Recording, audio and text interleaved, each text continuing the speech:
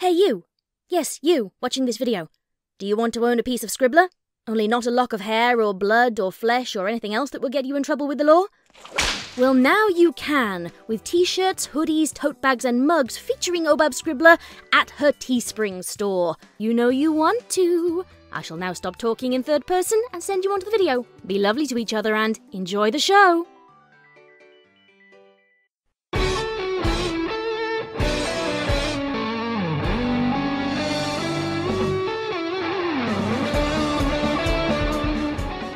Pony Tales. Read by Scribbler.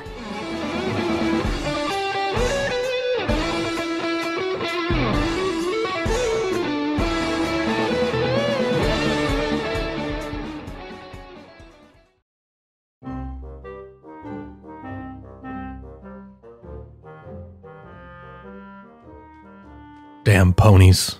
Come on, Anon! We're gonna be late! Rainbow Dash's voice took on a high pitched whine, not unlike a north wind blowing through the cracks of a particularly firm oak door. You say that like it's a bad thing. Anon crossed his arms. I already told you I'm not going. You can't miss a Pinkie party! And yet, look at me doing it. Shifting one foot and bending his knee with aplomb, he flicked the door shut. Or at least he would have, if a purple aura hadn't held it open. Anon, I'm not sure you understand. In contrast to Rainbow Dash, Twilight Sparkle's voice was flat as a shadow on a hot pavement. You don't miss a Pinkie party. Damn ponies. Look, last time I went, she threw so much confetti at me that I choked and had to go to the emergency room. The time before that, she put the pinata at my head height and Rainbow Smash over there nearly caved in my skull. The time before that, she and RD added hot sauce to the punch for a prank without asking if I was allergic first. And it's not even like Ponyville Hospital is particularly able to treat humans, you know. He pinched the spot between his eyes that always seemed to throb when a party rolled around. I'm not going. Um, Fluttershy looked up at him with large doe eyes. oh dear. But, but Pinkie tried so hard this time to make sure you had a good time. Are you staring at me? What? No! She squeaked and hid behind her mane. I'd never do that. N- not to you. It's true though, Sugar Cube. Applejack spat out the stalk of grass she had been chewing on for the entire prior conversation. Pinkie Pie felt right sorry about all those other times. She honestly just wants you to have a good time at your own Welcome to Our World party. It's the first one she's ever thrown for someone like you. Uh, human? You don't look like any of the humans I met at Canterlot High. Twilight muttered, eyes narrowed suspiciously. Twilight, we ain't having that conversation now. Anon, Pinkie wouldn't keep trying if it weren't important. We've all been through this. There went Twilight's flat tone again, though none of the others seemed to notice the cynical edge to her voice. Sometimes it seemed like she was the only sane one in the bunch. When she wasn't strapping him down to test his brain waves or trying to steal blood and other bodily fluid samples to prove he was some subspecies of Homo sapien. Damn ponies, It's best just to get it over with. she said bluntly. Otherwise, Pinkie will keep trying. She leaned heavily on the final two words, invoking images in his mind that he quickly shook away. She bought a whole three barrels of sweet apple acre cider, especially for this party! Rainbow Dash's wings flared. A globule of drool splatted on the cobblestones. The alcohol variety. It's true. Applejack nodded. I delivered him to Sugar Cube Corner this morning. She had to jump through a passel of hoops with Mr. and Mrs. Cake just to be allowed to have alcohol on the premises with the twins around. So she paid for their whole family to go to Funland over in Trottenham for the weekend and closed up shop early today to get ready. She leveled a gaze at Anon that was just short of a glare. She paid for the whole trip for the whole weekend, including train and hotel, just so she could throw you a party you might actually like. She's making quesadillas. Twilight's whole body shuddered. Ugh, Because they're your favorite food. Quesadillas, booze, and no kids underfoot. Anon repeated. Who'll be at this party? Just us. Fluttershy whispered. Um, if that's okay with you. You said you prefer small social gatherings. For a cold second, he was tempted. He was oh so tempted. He had tasted Sweet Apple Acres alcoholic cider once before. It was like nectar of the gods.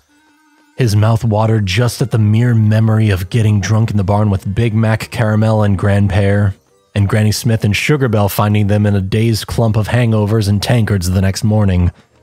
It had been totally worth it. He sighed and dragged his hands down his face. Fine,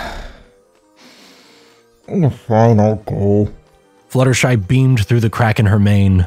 Twilight gave him a curt but approving nod. Applejack produced another grass stalk from somewhere. Rainbow Dash just grabbed his hand and started dragging him down the street. Hey, whoa! I'm not wearing shoes! Doesn't matter. No pony wears shoes except the princesses. You'll fit right in. Damn ponies. By the way, Sugar Cube, Applejack trotted easily beside him. this is a surprise party. How ponies could make air quotes without fingers still amazed him. Pinkie thinks you're unaware of what's coming. We just thought we better make sure you came at all. Twilight finished. After what happened the last couple of times. Anon clenched his teeth and thought valiantly of sweet golden cider and sticky, cheesy Mexican food. Sugar Cube Corner loomed before them. How could a place that looked like it had been baked to life by the bastard love child of Hershey and Cadbury loom? A white face appeared briefly at the window, smiled, and disappeared again. Clearly, Rarity was in on this too. His steps faltered. Actually, you know, I'm not so sure about this. Too late. Rainbow Dash released his hand, performed a tight loop, and barreled into him from behind, propelling him the last few steps up to the doorway. Strung across it was a candy pink banner with a legend Welcome to Equestria, Anon. Guys, I don't. Purple magic swung open the door.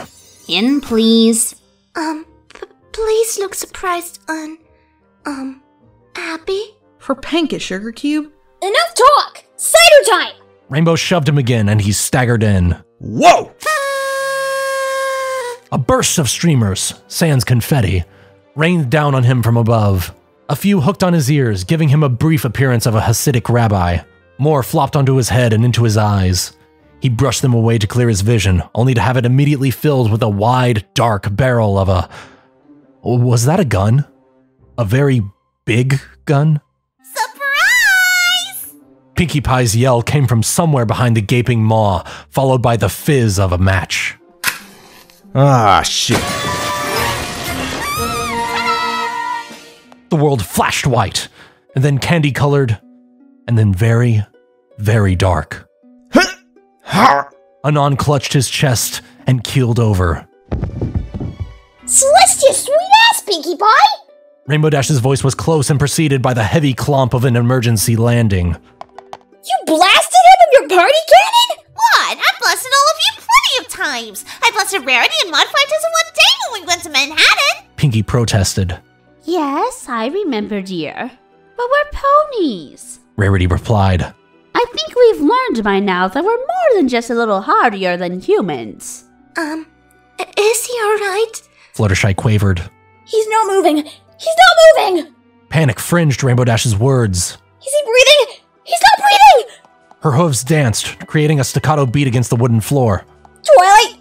Twilight! Make some room. Give him some air. Twilight instructed tersely. Anon, can you hear me? Anon! I'm sorry. I didn't mean to. I didn't think you was that fragile. He held his chest before he done fell over. Did he have a heart attack? Should I run for the doctor, Twilight? I can get Dr. Stable here in 10 seconds flat.